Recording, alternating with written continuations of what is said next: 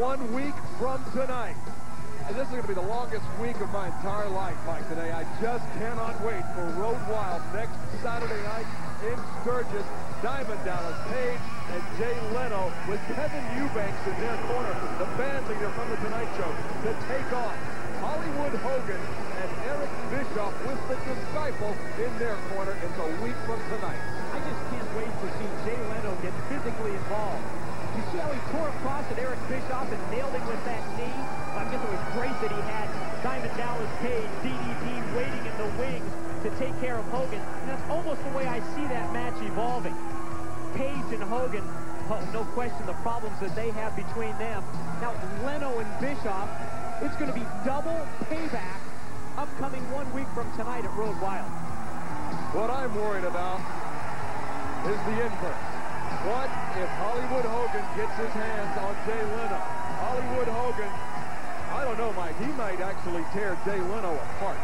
I hope Diamond Dallas Page doesn't somehow get knocked in the next month by a right hand or a foreign object or the disciples' interference that leaves Leno in there solo against Hogan and Bischoff. That does not bode well for Mr. Leno. Well, keep in mind that DDP and Jay Leno, they're going to have Kevin Eubanks in their corner to oh, counter yeah. the disciple. It's going to go down one week from tonight. And we talked about maybe Hogan and Leno tying up. What about Bischoff and Page? Neighbors. Going to go at it. These two men at one time, pretty good friends out there. Now on opposite poles of the entire wrestling world, I think Diamond Dallas Page has as much animosity for Eric Bischoff as he does for Hollywood Hogan. Well, the last scene that we saw of the New World Order at the Tonight Show uh, was the security officers taking both Hogan and Bischoff away. Mm -hmm. I imagine that this Monday on Nitro from Denver, we'll hear the latest from Hollywood and Company. No question about it. Monday night on Nitro, it will be kicked up to the next level involving Jay Leno and Hollywood Hogan and Eric Bischoff and Diamond Dallas Page. But it's all going to come to a head at Road Wild one week from tonight on pay-per-view. Interesting style, almost the ultimate clash the ultimate contrast in styles here between these two competitors. Martial arts background of the Cat against the Lucha Libre stylings of Ciclope. Ciclope certainly will take it up top if he needs to.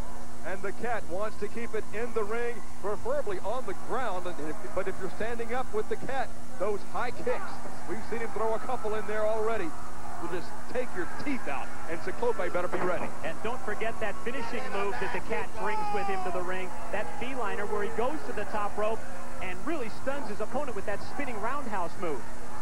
Ciclope, I'm sure, has done his homework. Ciclope, an accomplished luchador from south of the border. Rake across the eyes of the Cat. Something that I don't think either lucha libre or the martial art prepares you for, and that's a rake in the eyes. Now Ciclope. Going behind on the cat. What's he got? He's got his mouth pulled open there. Gosh. I thought he was just going for a reverse chin lock, but obviously the referee, Mark Curtis, has a much better look at it than we did, and he told him to break the hold. Knife edge chop by Ciclope. You just hear the echo all throughout the arena. That may not work on Ciclope wearing the uh -oh. full body suit. Oh, Ciclope charged in and missed. Landed on his head in the corner. And the cat. Oh, boy!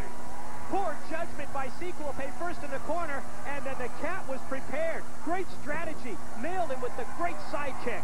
Just kicked the taste out of his mouth. And now the cat with the clothesline on Ciclope. Short arm clothesline by the cat. Continues to add pro wrestling moves to his martial arts ability. Big scoop and a slam. Now the cat may be setting Ciclope up. He may smell blood here. Shoots Ciclope into the corner. Chest first. Oh, spin kick. Spinning front kick right in the chin. Hooks the leg deep. And he got, got the three count. He can beat by going to the top rope, or he can beat you with that spinning roundhouse kick from the mat. A win for the cat on Saturday.